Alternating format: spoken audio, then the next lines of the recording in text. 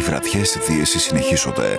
Το πολυβραβευμένο έργο για τη Μαρία Κάλλας Masterclass σε μία βραδιά για τους ακροατές του Δίεση 101,3 στο Θέατρο Παλάς.